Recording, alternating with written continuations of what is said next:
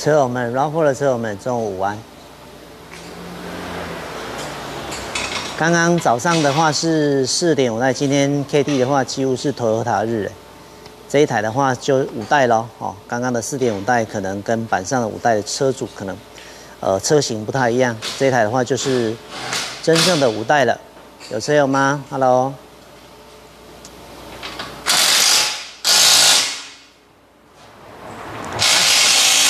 现在了哈，安装的啊，跟早上经理做直播的话都是一样的，装的是 KT 的道路板，然后后方的话也有加装仰角调整器。那因为还有一只仰角调整器啊，还没有装上去，所以我们来看一下跟早上的四点五代的有什么不一样。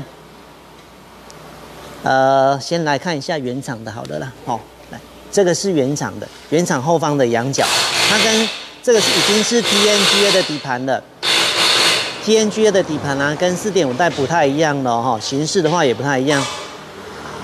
哎，不过这个一样有分左右边呐，啊，一样有分左右边。然后呃，改装的话，改装的话它就没有分，因为角度不必做分别哈。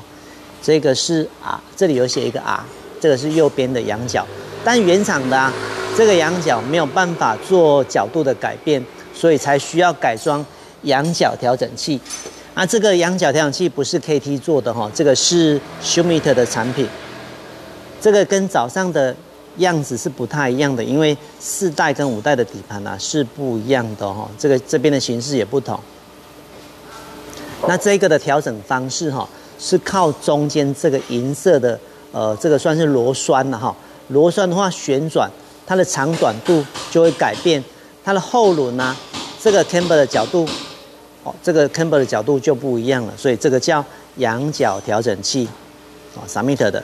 那这个仰角调整器要记得哦，要慎选，因为如果啊仰角调整器的材质不良，或者是说呃设计不良的话，就有可能在行驶间的话断裂。那行驶间的话断裂是有可能会有危险，它后轮的话整个会凹下去的。所以这个仰角调整器，这也是台湾大品牌啊。台湾的话，仰角调整器的话大概就两个品牌了。呃，这个是橘色的，是 Summit，有一个是蓝色的哈瑞斯。那其他的话也还有很多的品牌，但是设计上的话要注意哈，啊，材质上的话也得注意一下。这个是仰角调整器。那那么来看一下后方的筒身好了。后方今天没有小编呢，所以我的镜头是架着的，这样会比较稳，可是不会随着我跑来跑去。好，来这个是后方的筒身，这个也是日本知名品牌啊。日本最大做避震器的厂牌应该是 KYB 哈。第二品牌的话就是这个，啊，这个字是颠倒了，Tokiko 啊，这个也是大品牌。那为什么呃很多的车友啊，都像今天的车友车主一样，觉得啦这台车？可能家里面的人坐前面也好，刚刚车主是说，连家家里的长辈坐前座都会觉得有一点晕哈。那最主要是因为这台车的，呃，底盘设计本质是不错，因为 TNGA 的本质已经很好了，可是它在像这样的避震器设计上，还是以舒适为原则，所以后座的乘客或者是家里面的人啊，乘坐起来就很容易会晕车。那为什么要改 KT？KT 的话，高低高低能调整，可以把车高降低。那为什么车高降低之后就变稳？我们可以在路上看到一些跑车，它的车高啊都是比较低矮，所以重心变低之后就会比较稳。然后这个高低可调整，阻尼啊软硬度也能调整。像这个是原厂的，它做的很软。K T 的啊，就算做到最软，它的软硬度还是比原厂还要硬啊，所以。K T 的软硬也能从这个避震器的上方啊，有一颗旋钮，从那一个旋钮来调整呃减震筒阻尼的软硬度，哦，所以 K T 都能调整的。那前方的话比较没有什么好介绍，这个是后方的弹簧，后方的弹簧还蛮长的。呃，K T 的设定哈，这一台车啊，前面道路板的话是配大卷式的灯笼状的七公斤，后方的话是配两百三十长。六公斤的规格，前七后六，那没有分什么四驱或者是油电哦，规格都是共用的。那我来看一下原厂前方的避震器跟大家来做介绍。来，好，拿过来了哈。这个是前面，好，前面的避震器，前方画这么大一只，前方的悬吊系统啊，这个叫麦花臣。麦花臣它的工作会比较辛苦一点，它的工作在转方向盘的时候，这个上座下方里面呢有一个轴承，好，所以它上座避震器的话还要得要负责旋转哈，所以它的上它的避震器这么大一个。那这个上座啊，这个角度应该很清楚。它上座是有一个斜度的，有一个斜面哦，所以这个上座啊，在设计或者是在开发的时候，这个斜度就要做得非常精准，不然它上座的一个寿命就会比较短。那为什么不要沿用原厂上座？当然啦，这个车还很新哦，都不到呃，这是二零一九才上市嘛，哈，都不到两年，它的上座啊都还规格，它的品相都还 OK。可是如果啦，这个车的车龄到了呃八万公里、十万公里。如果要沿用原厂上座，的时候那问题来了，那沿用原厂上座一装上车，如果啦有异音的话，到底是原厂上座不行，还是 KT 的避震器不行哈？责任就很难理清。可是 KT 的呢是副总成件，如果有问题的话，那就是 KT 的问题哈。所以这个会比较呃有问题的责任的归属啦，会比较清楚一点点。这个是第一点。第二点就是像这一个的上座，来这个上座哈。这里有一个轴心啊，这个轴心其实它有一个缺口，所以它上座，呃，内部的话是有一个低型的沟槽，所以意思就是说，这个啊，在装上去的时候，它是有方向性的。如果沿用原厂上座的方向装座的话，就可能会造成产品寿命的缩短啊，或者是说造成转向会有异音的状况。所以沿用原厂上座不是不行，是有很多的原则。需要去遵守，才不会有异常的状况。这个是前面的避震器。那当然了，这些有一些小细节哈。这个是 KT 的专业，大家也有很多的都看得到 KT 的努力哈。譬如说这个，哦，这个是离载串呢。避震器上方有一个离载串的固定点，那这里会有一个离载串的连杆，连接到下方的防倾杆。这个离载串的固定点，哦，或者是这边有 ABS 感应线的塑胶扣具。或者是说这里也有油管架，这些所有的细节啊，KT 都是做专用的规格给这一台 RAV4 的五代来使用，好，所以做了很多的努力。那哦，前面真的很重嘞。好，那我把镜头移动一下，因为今天没有小编，我自己来移动镜头，来介绍后方安装好的样子，好，来让大家车友们来了解看看。哦，这个是装上车的样子哦，哈，来，这个是后方的上座，这个上座啊是要沿用原厂的，这个上座不太会坏，这个结构设计哈，如果开过欧系车的话，大概车友就了解，这个上座它的呃结构设计就跟 VH 的车系呢特别的像，镜头再移动一下，好，那这个是后方的筒身，这个夹壁的哈，这个是车的前方嘛哈。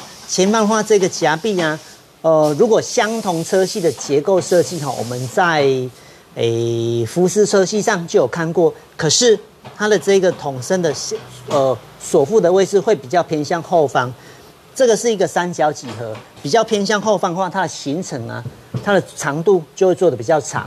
那比较内侧的话，这个筒身做的比较短，它的阻尼软硬度因为。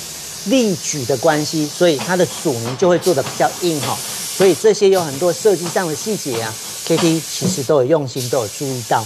在上座的下方这里，这个就是经理刚刚说的，这里就是可以调整软硬度的地方。这里有一个银色的旋钮，跟早上的 RAV4 的四点五代是不同的哦。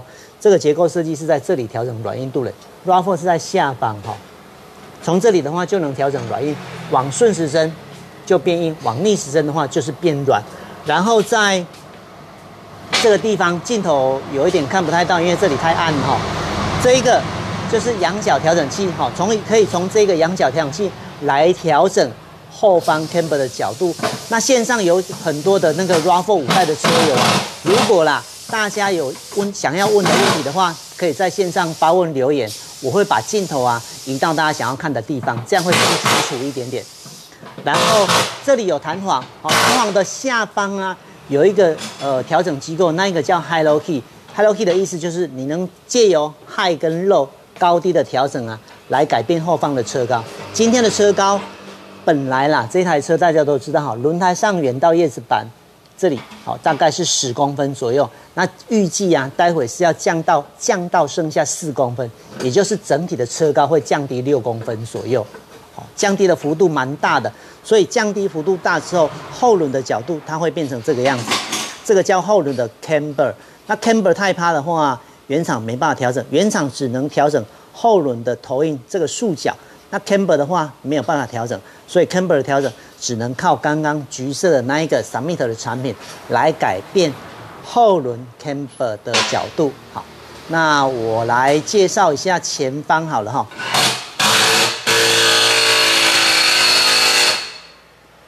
前方的话在这里，好，前面的话重点刚刚介绍的，它的前面上座是有斜度的，KT 啊也都是针对呃原厂上座的斜度下去做开发哈，所以上座 KT 就有负了，不需要沿用原厂。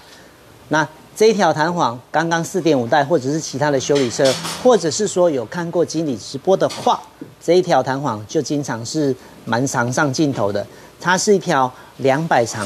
灯笼型的弹簧，灯笼型就是上面跟下方是一样大的，可是中间就跟我的肚子一样是胖胖的。那这样的弹簧在压缩回弹的时候啊，它有一部分的力道会往两旁去释放。